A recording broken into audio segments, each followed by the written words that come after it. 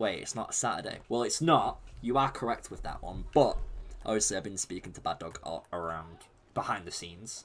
I've been speaking to him, um, and obviously I enjoy doing. I do enjoy doing becoming one with Pirate Legends quite a lot. So I thought, so I tried to push so it could happen during the week, and that obviously that's able to happen with the uh, with the addition of Ninja Slayer. Although obviously to, the boys, he's known as Jake.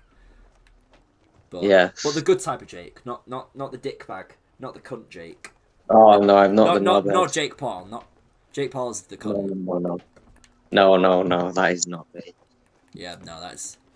I get called that. In, I get called that a lot, and I'm like, no, please, just fuck off. But yeah, here we here we are. We're um, we're here, and Yes. we're gonna do some Athena runs. That's what we're doing. Um,